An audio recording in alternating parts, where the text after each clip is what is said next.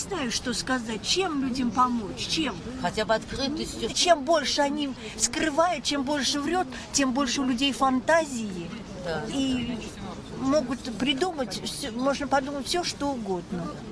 Больше вина на них, на, на власть больше вина. Я всегда говорю, что власть наша путинская преступна.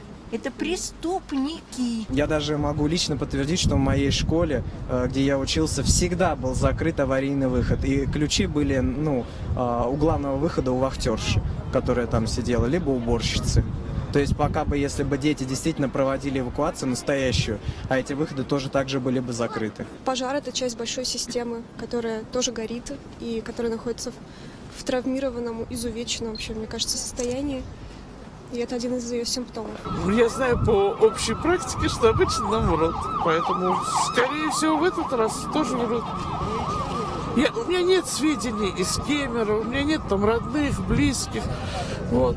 Но так как я знаю, что врут часто, врут почти всегда, а может быть и вообще всегда, то есть основания полагать, что врут и в этот раз. Им плевать.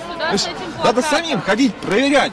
С каждого вот этого вот чинуш, который с галстуком сидит, приходишь, спрашиваешь, работаешь, не работаешь, пошел нахрен отсюда. То есть вы Там считаете, что вся люди должны брать на себя функции государства? А вот это вот что такое?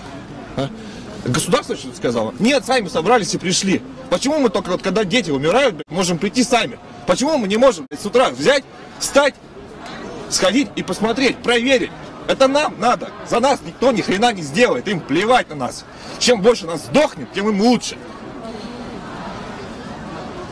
Путинской России должно жить два человека. Один будет охранять колонку, а второй будет сторожить, чтобы он ничего не украл. Все остальные будут за бугром. Нас 140 миллионов, мы здесь никому не нужны. Если мы друг за друга держаться не будем, никакое государство на нас внимания не обратит. Извините.